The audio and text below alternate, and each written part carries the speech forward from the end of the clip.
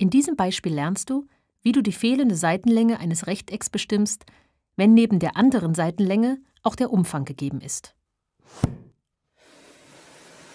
Ein Rechteck hat den Umfang u gleich 16 cm.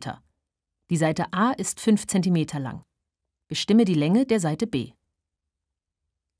Der Umfang des Rechtecks, der 16 cm beträgt, setzt sich zusammen aus zweimal Seite A und zweimal Seite B. Seite A ist 5 cm lang. Im Rechteck gibt es diese Seite zweimal. Zweimal Seite A ist 10 cm.